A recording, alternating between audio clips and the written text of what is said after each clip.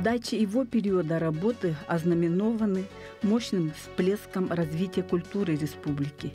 Это театральные спектакли Борисова, которым рукоплескал весь мир.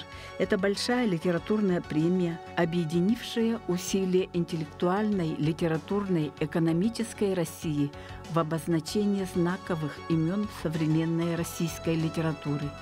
Присвоение Олонхо статуса шедевра нематериального культурного наследия человечества тоже было успешным проектом его времени правления.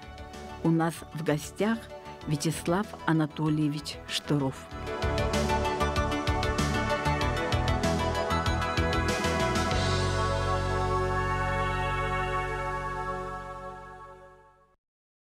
Есть э, такая легенда о вашем отце, контр-адмирале флота Анатолии Штурове, который во время американского учения да, смог так затаиться на дне океана и оставил экипаж и военных живыми. Хотелось бы о вашем отце услышать. Мой отец э, человек, как говорится, своего времени, своего поколения. Э, он родился в 1929 году в Саратовской области. А, ну, понятно, что время это было очень сложное. Помните, значит, 30-е годы это и голод по Волжье, и вообще жизнь сама такая достаточно бедная. И он очень рано остался значит, без отца, и поэтому ну, фактически их вдвоем воспитывала ну, моя бабушка, значит, мама моего отца, потому что у него была старшая сестра еще. Они жили в таком небольшом домике значит, в городе Петровске. Но Петровск а впоследствии стал таким довольно крупным промышленным центром. А до этого это было такое э, значит, место, которое было основано еще Петром I как э, один из элементов засечной полосы нашей границы, южной границы э, России скажем так. Это типично такая э, служивая э, населенный пункт, где значит, жили люди, которые охраняли границу и одновременно занимались там сельским хозяйством. В общем, такой город Мещанский. Николай Васильевич Гоголь когда путешествовал по России, останавливался в Петровске. Значит, там он прожил несколько дней, и э, события, которые, и, э, которые он там узнал, людей, которые увидел, послушали потом его сатирической повести «Ревизор», помните? Да. Значит, Хлестаков и там все остальное прочее. Особенно тяжелое было положение, конечно, в годы Великой Отечественной войны. Да, были поручик, и мы молодыми, и наши сердца обжигала война. Но мы выходили из боя седыми и честь сохранив и свои имена. Мы были врагами, мы не были братьями. Но даже скрываясь в неласковой мгле, Не слали мы оба хулу и проклятия крестами могил освященной земле. В безжалостных шибках пылали станицы, И золото нив осыпало поля. Скажи-ка, по правде, поручик Голицын, Ты плакал, когда кровенела земля, справляя друг другу кровавую тризну за свой идеал своего бытия, мы знали одно — за спиною отчизна. Она ведь одна, и твоя, и моя. Мы знали одно — за спиною держава, которой давали присягу свою — Ужель не восчувствуем памятью ржавой, Как снова ей волки песнь смерти поют? Мы знали одно — за спиною держава, Которой давали присягу свою. Служили России великой, России твоей, но еще и моей. Давай без чинов и немножко остынем. Я был адмирал, ты потомственный князь, а нам суждено умереть на чужбине. Ведь Родина наша от нас отреклась. У отца, видимо, была склонность такая, ну, к какому-то литературному, что ли, творчеству, значит, хотя он был способный э, во, э, во многих направлениях, как и многие тогда люди, выходцы из народа, в общем-то, значит, потом стали конструкторами, учеными, писателями. И, значит, видимо, система образования, система, что ли, устремлений людей, значит, общий такой порыв в стране, он способствовал тому, что э, люди стремились к знаниям. Но у него э, было, э, помимо таких технических, что ли, знаний, еще и э, такая тяга, наверное, к какому-то литературному творчеству, потому что самые-самые первые стихи, вот у меня есть еще, так, сохранились они, он написал, ну, наверное, еще в самом начале школы. В 1944 году маме было чрезвычайно сложно, значит, с детьми маленькими, значит, без отца, и он, будем говорить, такое вел значит, ну, как говорят, полубеспризорник. И поэтому поступил в Горьковское военно-морское училище подготовительное, а куда брали вот таких как раз людей. Он его закончил и стал э, значит, военным моряком, потому что после окончания училища его отправили учиться на Дальний Восток, а в Тихоокеанское высшее военно-морское училище. Он его закончил значит, и отправился служить на Камчатку, стал подводником прошел все ступени, которые положены, стал командиром подводной лодки. Командиры же все были тогда молодые очень. Был э, такой разгар холодной войны, Карибский кризис. Ему э, приходилось вместе э, с, будучи ну, дублером командира подводной лодки, их по двое было отправляли, э, значит, находиться таких на боевых позициях, э, значит, будем говорить, в Токийском заливе прямо. Э, значит, в ожидании каких-то команд. Мир стоял на грани ядерной войны и ядерное оружие на борту. Значит, а ну, после этого холодная война ведь не прекращалась, и она имела очень много граней. Значит, идеологическая война, и экономическая война, и а, борьба за укрепление своих э, военных позиций, в том числе на море. А особенностью э, наших вооруженных сил всегда было то, что у нас очень были сильные сухопутные войска, потом появились ракетные, авиация и так далее. А все-таки э, в военно-морском флоте мы очень сильно отставали от Соединенных Штатов Америки. А э, с появлением авианосных ударных групп и так далее, это стало такой очень важной реальной угрозой значит, для Э, ну, обороноспособность страны. И поэтому э, такая была очень важная задача, значит, все-таки выйти нашему флоту в океан. Атомные подводные лодки, значит, только еще проектировались, а главной ударной силой, ну и начали входить в строй, а главной ударной силой были дизельные подводные лодки, которые были, в общем-то, запроектированы для э, таких прибрежных боевых действий, но стояла задача выйти в океан. То есть на карту посмотреть, между э, Южной Кореей и Японией существует так называемый Цусимский пролив. Значит, он дает выход э, в Восточно-Китайское море, потом Южно-Китайское море, потом Тихий океан вокруг Японии, главным военно-морским базам Соединенных Штатов Америки, которые находились вот на островах Окинава там, и так далее, которые мы знаем значит, по э, прессе, информации. Стояла задача, как же нашим подводным лодкам, которые находятся, главная военно-морская база, это Владивосток, со всех сторон закрыт, значит, только через Курильские острова можно пройти. А как попасть в южные э, значит, моря, потому что там находится э, вероятный противник, там находятся его главные базы и так далее. И э, вот наши подводные лодки значит, пытались форсировать вот этот вот Цусимский пролив. Это не всегда удавалось. Значит, за всю историю вот 60-х годов, начало 60-х годов только три лодки смогли пройти. И остальные все так или иначе были обнаружены американцами, их или заставили всплывать, или сам факт обнаружения уже означал, что поход надо прекращать, потому что э, ну, бесполезно и так далее.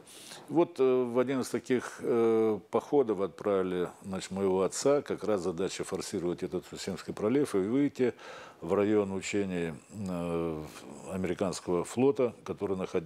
который проходили больш... очень большие учения значит, уже в Тихом океане. Надо было три моря миновать и туда подойти и по возможности значит, э, наблюдать за ходом действия и все остальное прочее. Ну, ну, очень сложный значит, этот поход был, и ему удалось все-таки значит, миновать этот пролив, хотя он все время контролировался японцами и южнокорейцами, ближайшими союзниками американцев. Там считалось, что никто не пройдет, но только три наши лодки до этого проходили, американцы об этом не знали. Ну, четвертое. Ну и, конечно, э, как бы удалось им выйти в этот район учения, э, значит, но, к сожалению, американцы их обнаружили. Значит, в то время наши лодки еще не были достаточно совершенными, и их могли определить гидроакустическими способами по шумам и все остальное прочее. Обнаружили, и, а тогда были правила очень такие жесткие, значит, никто не имел права э, значит, вмешиваться в ход учения и так далее. Любой объект, который там появлялся, они даже не разбирались, кто это такие.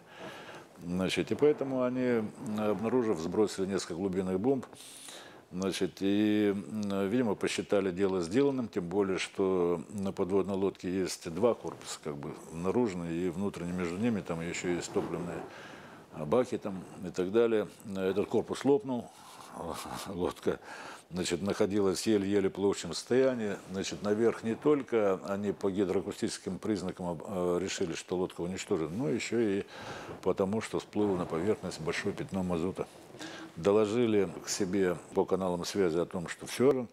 Наши, между прочим, средствами радиоэлектронной разведки тоже это э, значит, узнали об этом, но считалось, что все, вопрос закончен. Ну, им удалось остаться в живых и двинуться домой. Но поскольку, поскольку лодке было непрерывно необходимо время от времени всплывать для того, чтобы пополнить батареи, значит, и так далее, тогда, тогда не было таких вот систем регенерации, как сейчас есть, когда воздух вырабатывается в самой лодке значит, батареи заряжать и все остальное. И поэтому они вынуждены были на небольшой глубине перископной и опять оказались в самом эпицентре учений. Значит, это все э, сумели значит, наблюдать, в том числе на, на перископном э, варианте зафиксировать. Значит, и в конечном итоге э, значит, скрытно уйти и вернуться домой. Спустя несколько суток после того, как по плану был приход. И, конечно же, значит, это было такое очень большое событие. У меня так память осталась. У нас дома пришли друзья, такие отцовские старые по учебе и по работе. Когда стало ясно, что лодка, наверное, не вернется, и, значит, они о чем-то долго с мамой разговаривали. Значит, как-то я помню, она была вообще ну, считалось, что все. Значит, ну вот, это такой э, очень известный поход знаменитый, такой, который вошел и описан. И военно-морской флот, э, и вот непосредственно служба на кораблях, как и в авиации, она же требует предельных перегрузок организма, поэтому в достаточно командиры лодок больше 35-6 лет, они уже значит, переходят на другую службу. Ну и он вот стал Значит, э, другая стезя у него была разведка. И он был заместитель начальника разведки Тихоокеанского флота и заместитель там командующего значит, Камчатской флотилии. И как бы уже стал адмиралом и занимался другими вещами, и там тоже было очень много интересного. Значит, ну вот он не оставлял всю жизнь этого своего литературного а, творчества. Все это было так, знаете, в стол. Вот. А потом уже, вот, когда ушел в запас, э, а потом значит, на пенсию, то на самом деле это было все опубликовано. О, Русь, моя отчизна Русь, в весельях, радостях и в горе я хулить боюсь, хвалить стыжусь твою большущую историю. Но не скупишься ты невзгод подкинуть мне и долю львиную. И связан я с тобою вот, навек присохшей пуповиною. Священным пламенем гореть нам воспитанием наказано, А ты сынов своих презреть теперь, выходит, не обязан. А мы горели — с ранних лет пройдя нелегкий путь солдатчины, Я цвета алого билет храню с пожарищ Сталинградчины. Нет, за наградой не бегу, но мы стояли в час назначенный спиной к тебе, лицом к врагу, и долг сыновней тем оплаченный. И слаб, и беден мой язык, в нем нет громов, тона приглушены. Там за стеной жандармов зык в стене к соседушке продушены. Я, как шапка на снегу, тугим ошейником прикрученный скулю, а взлаять не могу, ночными думами измученный. Как-то его такое творчество литературное, оно получило э, ну, развитие, вышло несколько книг. Значит, к сожалению, уже поздно. Значит, так, но я всегда думаю, что если бы... Вот судьба, вот так она повернулась. Значит, человек стал моряком ни сном, ни духом. Ну, где эти степи, значит, саратовские, где море? А, возможно, если бы по-другому была судьба, может быть, он стал и писателем, и литератором. Хотя пути Господня неисповедимы, а может быть, просто обывателем, крестьянином на земле, как были его там деды и так далее. Поэтому, значит, вот такая судьба. Естественно, в вашей судьбе его влияние на вас было большое, да? Так как сейчас там воспитанием детей же не занимались, значит, по доктору Споку, да, помните, был такой модный там книжки, как надо воспитывать детей, как с ними разговаривать. Тогда это все, значит, жизнь несла куда-то своим потоком и э, как бы ну, представьте себе, вот мои родители, отец военный моряк, значит, постоянно переводят с места на место. Плавание по месяцу, там, автономные по 40 дней, там, и так далее, и так далее. Значит, занятость это бесконечная. Значит, э, мама геолог, значит, она тоже бывала в экспедициях и все остальное. И значительную часть детства я просто в деревне провел. Э, моей мамы Приморском крае. Значит, э, мама по материнской линии ведь мои предки – это один из, одни из самых таких первых жителей Дальнего Востока. Мой прадед уже родился в Приморском крае в 19 веке. Уже родился мой прадед. Значит, так, а его э, как бы родители э, приехали, и родители прабабушки, они приехали с Украины. Значит, не хватало земли, совершенно не хватало земли. Поэтому либо добровольно, либо бросали жребий, значит, кому надо ехать на новые земли и так далее. И, э, значит, э, они жили э, как бы вот в селе Хароль. Сейчас это большое село, там районный центр. Значит, и значительную часть времени значит, я там прожил, и брат мой, потому что семья большая, там было у бабушки семь детей, ну и, и я восьмой там, и как бы такая чисто сельская жизнь.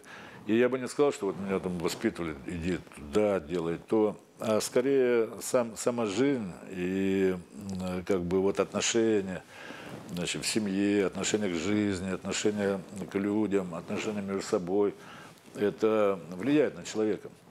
И э, отец скорее э, незримо присутствовал большую часть моей жизни. Вот какой-то образец, который э, ну, для меня оказался таким недостижимым идеалом, куда я должен стремиться. я всегда думал, а как он к этому отнесется и так далее. Но с другой стороны, я очень люблю историю, географию, такие гуманитарные, хотя я инженер, вот, и не чувствую всяким разным точным наукам и все остальное. Но, в принципе, значит, это мое как бы хобби, любовь такая. Я думаю, вот почему? Ну, это тоже оттуда, из глубокого-глубокого детства. Э, представьте, в деревне, в селе. Мне повезло в жизни, я еще застал живых и прадеда, и прабабушку. Жил у дедушки бабушка, я еще часто у них бывал. И вот... Э, Это в Приморском крае. Да, да, прадед мне вот рассказывал, значит, особенно зимой там на печке. Приехали они оттуда, вот как, они, как возникло это село, что там находится за сопкой, значит, какое там другое село, что там за люди живут. И мне это чрезвычайно интересно. Тут заложен был тогда интерес, понимаете? И мне все время, э, всю жизнь мне просело такое чувство, что вот если я вижу сумку, мне обязательно надо будет заглянуть, что там такое, что Вот обязательно надо куда-то двигаться, смотреть, э, какие-то впечатления и так далее. Сейчас, по прошествии лет, э, я думаю, что, понимаете, вот мне так кажется, мы живем в совсем другом мире. Это другая страна. Это другие люди совершенно, другая система отношений, другая система понятий вот как будто бы свалился откуда-то. Это вот уходят те наши предыдущие поколения. И нельзя сказать, что сейчас чем-то мы прогрессивны, лучше и так далее. Многое тогда было значит, более правильно, в том, в том числе, наверное, в способах воздействия, воспитания людей. Я бы сказал так, поэтому так, чтобы вот целенаправленно говорили, вот тебе линия, по ней ты иди, и мы будем смотреть, не, значит, это хорошо, это плохо. Никто на эту тему со мной не разговаривал. Это само собой получилось. Они как бы пример. Ну, вот я бы так думал. Самое яркое воспоминание детства? Э, очень много разных событий. И вообще я считаю свое детство абсолютно счастливым. А я думаю, что мое детство было значительно более счастливое, чем э, у моих детей, у моих внуков. Э, оно совсем не такое было. И значит, не было таких возможностей, как сейчас. А, но зато было очень много вот такого ну, другого, что ли. Ну, например, вот я вижу, что значит, какое-то вот отчуждение даже, даже в школе сейчас есть между собой, там ребята. Значит, раньше же мы, класс это одна семья. Значит, мы, у меня до сих пор самые лучшие друзья, там, и школа, и так далее, и так далее. Значит, эти военно-спортивная игра, значит, это э, соревнования всевозможные, значит, э, как бы э, все такое скудное.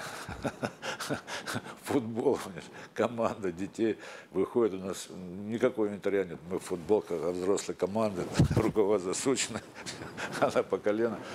Значит, но тем не менее, я считаю, что это очень такое счастливое время. Конечно, с родителями очень много значит, связано таких вот счастливых воспоминаний. И Значит, ну, мама, понятно, это самое такое близкое, дорогое, значит, э, в жизни. Друг мой желанный, вина мне налей, Завтра мне море идти. Ты обо мне, я прошу, не жалей, Подолгу ты не грусти. Завтра мне в море идти с утра, В хмурое логово бури.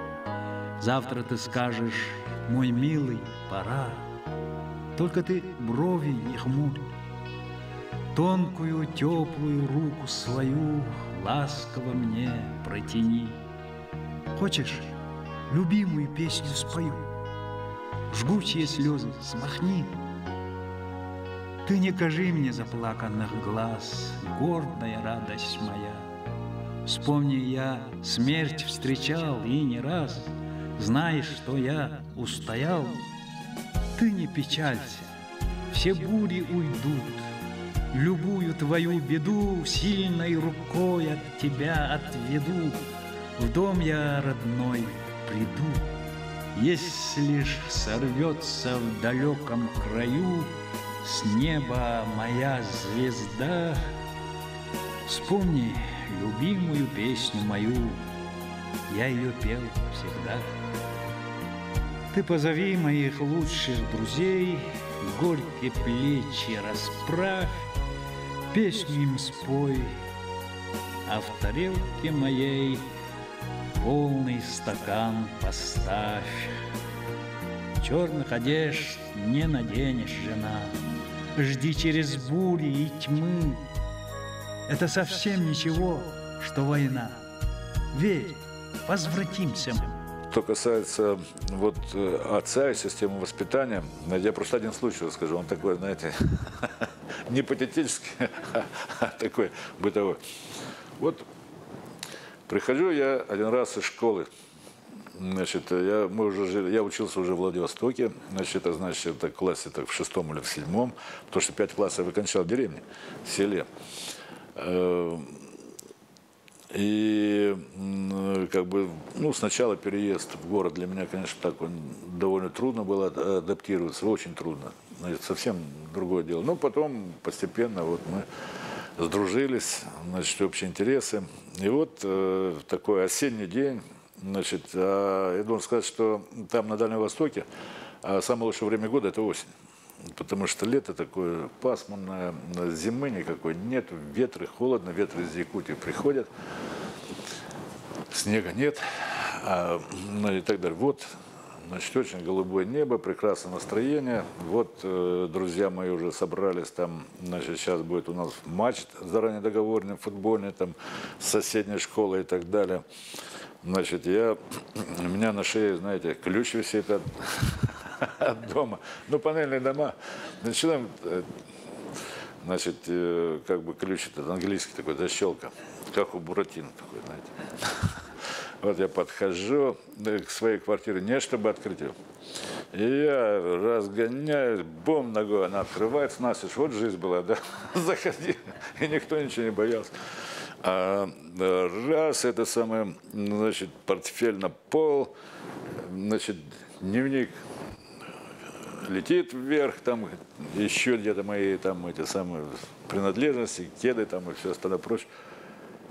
И вдруг что-то тут не то я чувствую себя в квартире. Ага, дверь на кухню закрыта, значит так, и оттуда отец выходит, думаю, как он мог здесь оказаться, он же обычно допоздна, до глубокого поздна. А оказывается, значит, приехал мой двоюродный дед, и они там сидят на кухне, и ну и выпивают. Значит, так.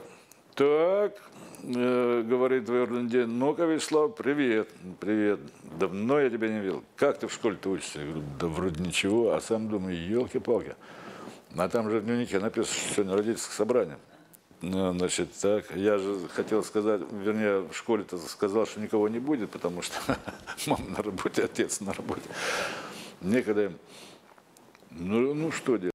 Вот она этот дневник-то я поднимаю, даю. Прочитал мой дворный дед. Ну что, Анатолий, говорит, подавай, надо сходить.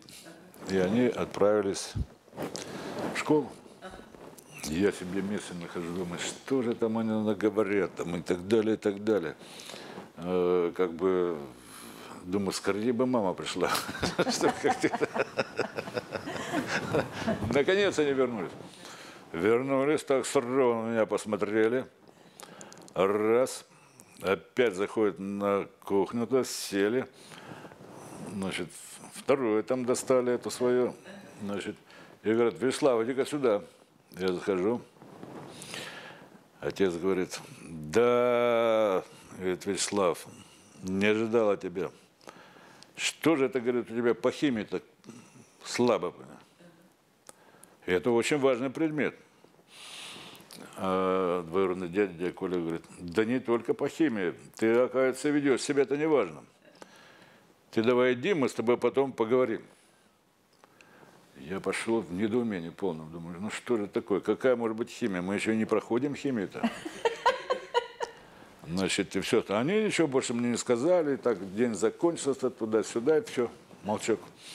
Смотри, говорят, ну, я...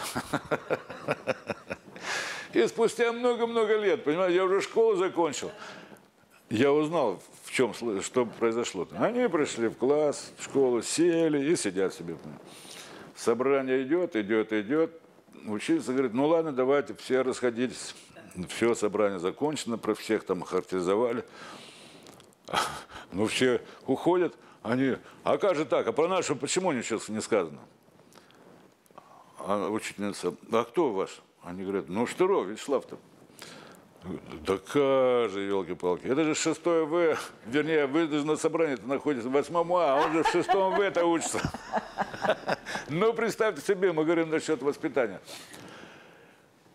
Вообще не молчок, понимаешь. Вот в этом, э, они, я это спустя много лет только узнал об этом это э, как раз и говорит о воспитательных качествах, правильно? Они сказали там, да, пришли сказать, ты такой секой иди химик. Вот же, понимаете. Довольно плотно мы с отцом уже стали общаться, когда я уже, наверное, учился на старших курсах института. Редко, но бывало так, что вот э, с работы довольно поздно приходил значит, э, в этом штабе Тихоокеанского флота. Ну и Э, значит, э, ну, надо было как-то вот пройти, там, подышать. И мы э, приспособились с ним по набережной ходить. Очень много для себя нового узнал, очень много интересного. Он так говорил о, о жизни, о людях, о, особенно вот о, о ну, военно-политической обстановке, о таких делах. Там. Для меня это, знаете, как это вот как раньше в Древней Греции было такие гимназии, да, вот они ходили, там беседы вели с Платоном или Сократом. Вот для меня примерно из, этой, из этого ряда. Когда я уже закончил институт, стал вопрос о распределении. На моем потоке, ну поток, вы знаете, там э, Дальневосточный политехнический институт я заканчивал, строительный факультет. Вот на строительном факультете было пять групп, и мы заканчивали там, ну, 110 человек. Ну, стал вопрос распределения. Значит, ну, все ребята, конечно, все ребята хотели остаться значит, в Приморье, не просто Приморье, а в Владивостоке, или в крайнем случае, э, там очень популярно в те годы было несколько таких поселков в Приморском крае, там Дальнегорск и так далее, где там, которые развивались в то время, что-то там стройки были большие. А я э, Значит, в принципе, я институт закончил неплохо. В общем, из этих 110 человек я был одиннадцатым. То есть фактически выбирай, что хочешь. Владивосток, Хабаровск, Свердловск по распределению. А, ну, я вот выбрал Велюгострой. На Якутию, Велюгострой. И никто в это не верил. Мои однокурсники думали, ну, наверное, что-то здесь не то. Не может быть, наверное, он это и не поедет туда. Ну, я вот выбрал Велюгострой. На распределение мне этот проректор говорит, да, это Угрюм река. Ты, ты понимаешь, зачем и чего? Я, конечно, понимаю, это моя родина, я туда и поеду. Значит, и вот э, я уехал. До сих у меня в памяти стоит, стоят родители, которые, ну, как бы в аэропорту уже, значит, меня провожают. Значит, и все. И жизнь началась сначала. Совершенно сначала. Значит, вот такие дела. А вы родились и до какого? Не, я, я родился и э, в мае, а в июле за мной отец же приехал. А, уже все, месяц Да. только. Ага. Да, потому что он был на Камчатке. А мама была в экспедиции э, значит, на Дыбинском участке. Но она, собственно говоря, была в Дальстрое.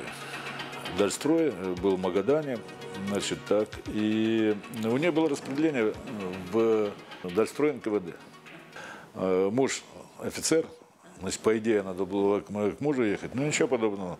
Сказали, там потом разберемся, поедешь.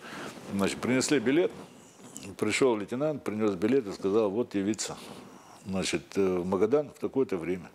Там нужны специалисты. И вот она поехала в Магадан. А тогда значительная часть э, территории Якутии, она э, в производственном отношении, не в- административно-политическом, а в производственном отношении подчинялась этому Дальстрою. То есть пред- предприятия Дальстроя были на значительной территории Якутии. Была как раз э, у них партия и Дыбинский участок, это там, где сейчас месторождение Верхней Минкичи. Они занимались э, разведкой этого месторождения, там, полиметаллического. Это неподалеку от Нежданки, Тампонский район. Ну и пришло время э, ей рожать, и ее отправили в Хандыку оттуда. А, Значит, сначала на оленях до дороги, тогда уже Магаданская трасса существовала, ну, конечно, не в таком виде, как сейчас. Значит, а там уже, вот была организация раньше, значит, там уже ждала, ждала ее машина на дороге. Ну, представьте себе, вообще ни кола, ни двора, а вот э, железная была дисциплина, организация все остальное прочее. Э, Значит, э, да, она говорит даже мама, что э, когда стал вопрос о том, что я должен там родиться, они даже на этот Дыбинский участок, значит, где-то там закупили в Амиконском улусе коров и туда перевезли, думая, да, чтобы кормить впоследствии. Но когда в Хандаге родился, значит, вроде все было нормально, а потом у нее были проблемы со здоровьем, там, в общем, сепсис, там еще чего-то. Ну и отцу сообщили, что вот э, надо срочно приезжать, потому что, э, значит, э, ну, тяжелое такое состояние. И вот он поехал оттуда, отпросился там на службе, значит, взял с собой чемоданчик, в котором были, значит, сигареты и спички, пистолет в военно-морской форме, отправился, э, значит, ну, меня забирать-то. А как попасть туда? Вот он на самолете э, из Петропавловска-Камчатского прилетел в Магадан. А дальше? А дальше выяснилось, что э, самолет, можно попасть на самолете в теплый ключ, Значит, но эти самолеты не летают э, как бы в рейсовом порядке. А вот если э, экспедиция заказывает, то они полетят. Когда в ближайшее время? А неизвестно когда. И тогда ему ничего не осталось делать. Он на, на попутных машинах отправился туда за мной из Магадана, значит, э, вот э, в Хандагу. Это был 53 год, значит, лето. Помните, холодное лето 53 года, как раз там амнистия. Ну, как он написан тогда в Магадане ночью, вообще э, народу нет, и даже э, здание милиции открыты, двери настежь. Почему? Потому что они считали, что э, все равно возможны эти нападения, перестрелки, поэтому все открывали, значит, чтобы там не подожжение, сломали, но там никакой ни документации, ни оружия, вот там такие банды даже орудовали. Вот он описывает это все, на самом деле, есть же поезд у него, путешествие в страну Колыма. Ему 9 суток пришлось там добираться на попутных машинах, на попутных службы первые годы. Хватил и тоски, и сполна. Камчатка, подлодка, походы, В далеком дальстрое жена. Все тает мой замок иллюзий, Мечтанием казалось конец. И вдруг, как огонь, телеграмма — Теперь я счастливый отец. Решение выбор недолог, дела и моря под замок, но долго якутский поселок найти я на карте не мог. С угрюмой колымской столицы я начал за сыном вояж, не зная, в какую землицу ведет незнакомый вираж. Там не было стрелок маршрутных, но мне указующий перст помог. Пустяки, на попутных всего лишь две тысячи верст. И через 9 суток вот он прибыл туда, в Хандагу, значит, забрал нас с мамой. И обратно, насколько я понимаю, они уже на... Да как бы не на автобусе поехали. Представляете А потом уже на, на самолете как бы у него было такое, что надо срочно-срочно, потому что его там переводили с Камчатки в Баку, там принимать новую подводную лодку, перегонять ее вокруг света туда-обратно. Значит, в общем, такие дела. Моя мама очень хорошо вышивала. А. И у нас всегда висела такая картина, вышивка. Все время спрашивала, что это такое? Она мне говорит, ну, это же твоя родина, вот ты где, где родился. Там действительно это место, значит, и горы, горы и Плата, и там, где это все. Я все время расспрашивал, ну, где же родился? Хотелось хоть, ну, посмотреть, что ли. Ну, когда я уезжал, конечно, родители были не в восторге, а мама вообще там плакала неделю. Потом говорит, ну что сделать, тебя, видимо, гены тянут. Ты где родился, туда, видимо, так получается. Ну вот я уехал в Велюгострой, и там меня отправили, я приехал в Мирный. И мне сказали, что Велюгострой, сама контора управления, находится в Удачном. А, ну, тогда это назывался поселок Надежный, между прочим. Это сейчас он город Удачный. Значит, и вот я отправился туда, и мне... А там часовой удар комсомольская стройка горно-подъемный комбинат Удачинский. Значит, ну и я там остался, и с тех пор как бы судьба моя прям, ну как бы предопределена была тамошняя работа.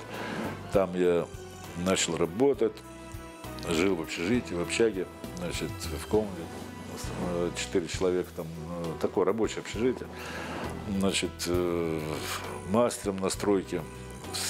Ну, как-то так интересно сложилось в жизни. Ну, если не считать вот выборные должности, как я был избран там президентом Малроса или там потом президентом республики, самое большое количество времени, э, которое я провел в какой-то одной должности, это была самая первая должность на стройке мастером. Я долго работал мастером, ничего у меня как-то не получалось.